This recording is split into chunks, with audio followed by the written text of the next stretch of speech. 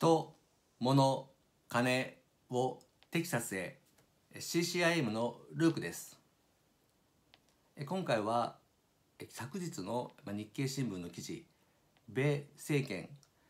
ガソリン高と気候変動対策で板挟みという記事を紹介させていただきます。バイデン政権がガソリン高と気候変動対策の板挟みにあっているということなんですけどもこのガソリンの価格7年 ,7 年ぶりの高水準となっています。その影響を受けて先日私ロサンゼルスでウーバー合法白タクに乗ったんですけども、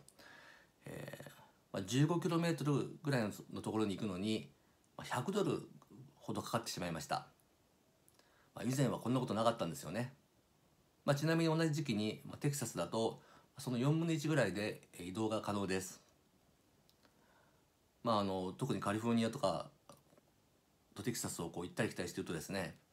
あの、まあ、カリフォルニアのガソリン代っていうのは高いなと思います、まあ、テキサスも最近、まあ、ちょっとガソリン代がやっぱ上がってきてるなということは、えー、感じるんですけどもね。まああのまあ、そこでバイデン政権としては、まあ、ガソリン、まあ、石油のまあ増産を求めているわけですけれどもその一方で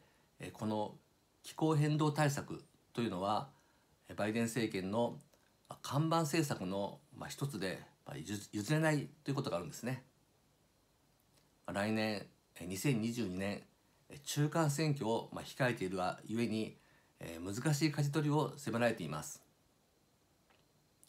アメリカのエネルギー省のターク副長官は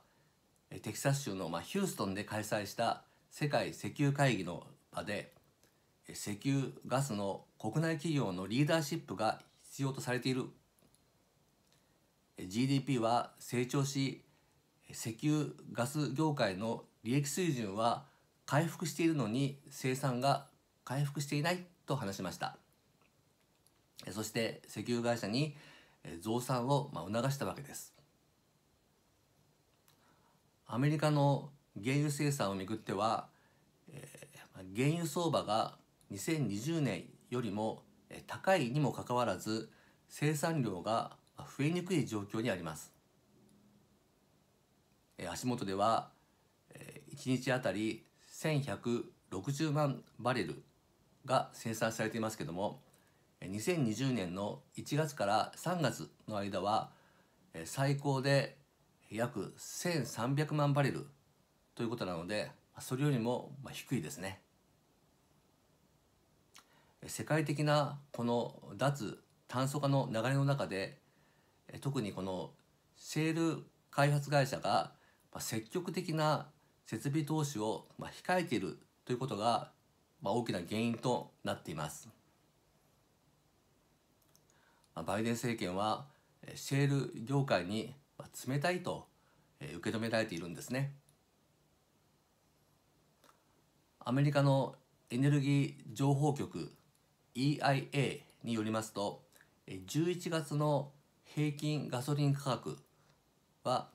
2014年代の高水準ということで有権者の間に不満が高まっているそうですアメリカ政府は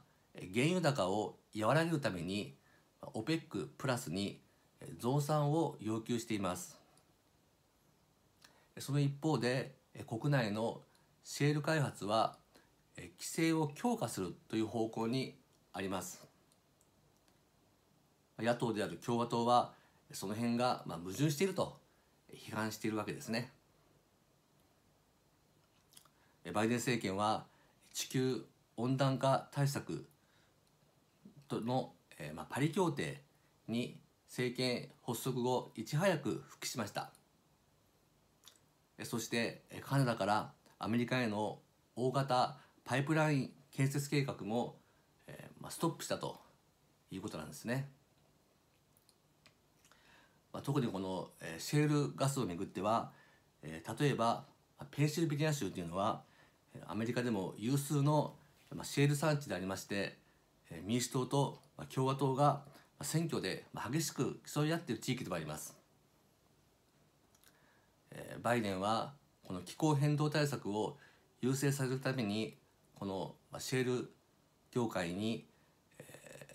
まあ、人気がないというところで来年の中間選挙、まあ、苦戦が予想されます。